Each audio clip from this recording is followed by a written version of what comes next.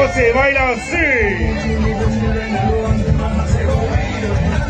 Alegrísimo estuvieron las fiestas de mayo en Bluefields. La gente meneándose al son de tambores y la Chayo y Ortega meneándose al son de congelamiento de cuentas bancarias de la Iglesia Católica, confiscando propiedades y destituyendo a sus fieles de los cargos. Aquello bello y encendido.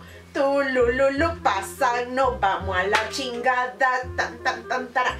Yo soy Nidia Monterrey y esto es ¡Qué sanganada! Ser un zángano, ser un, ser un, ser un zángano, ser un, ser un, ser un, ser un zángano. Ajá, mi gente, ya vieron qué alegre ese palo de mayo, qué alegre que la gente tenga esas oportunidades de esparcimiento y de promoción cultural gracias al buen gobierno. Porque ustedes ven esos movimientos de cadera, no crean que eso es de cultura o por genética, no, eso es porque el buen gobierno les dio un rondonazo con una pócima mágica para que esta gente pues sepa bailar, porque absolutamente todo lo que pasa en Nicaragua es gracias al buen gobierno.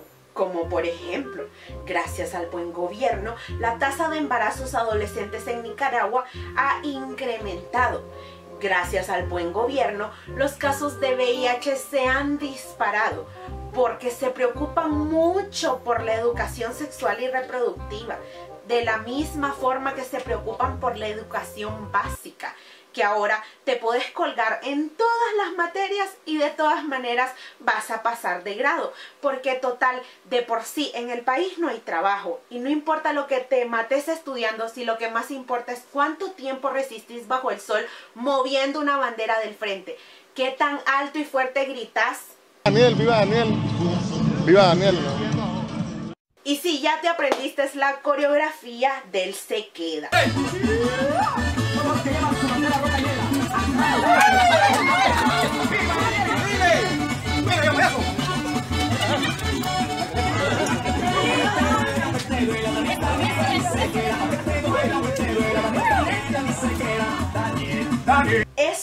Son los requisitos para ostentar a un cargo de poder. Pero ajá, como les decía, Ortega el Cristiano mandó a congelar las cuentas bancarias de las iglesias católicas del país, alegando que la iglesia católica lava dinero y nadie en el país tiene derecho a hacerlo si no es él o si no le deja un porcentaje. Dadas las acusaciones, el cardenal Leopoldo Brenes apareció a decir que tengamos calma, que no tengamos miedo. Pregunta que me parece absurda porque ¿quién va a tener miedo en Nicaragua? ¿Por qué deberíamos tener miedo en un país que reina la paz y la seguridad? Pero a ver, ¿no será esto una proyección del cardenal y quien tiene miedo es él? A ver qué dicen ustedes mis zánganos.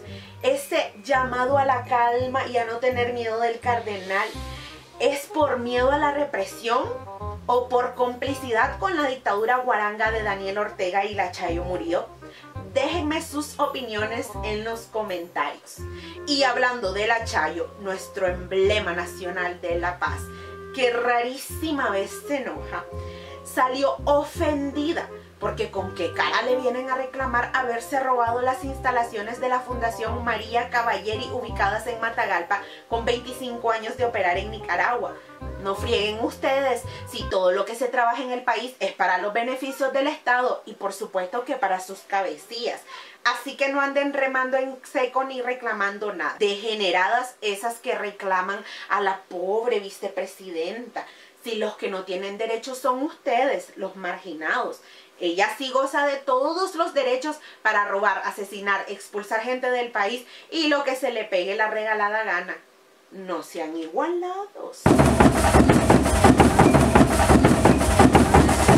Y como nos pueden quitar todo menos el sabor y el baile, ustedes que anduvieron en el carnaval por casualidad no se encontraron con el general en retiro Omar Jales Levens. Ah, no, donde dio su bailadita fue en el chipote, porque del machete desenvainado del Dani y la Chayo no se capean ni sus amiguis. Y bueno, mis zánganos, yo por acá me despido, esperando un día no muy lejano regresar a bailar Palo de Mayo a mi pueblo en un ambiente libre de proselitismo político y en libertad.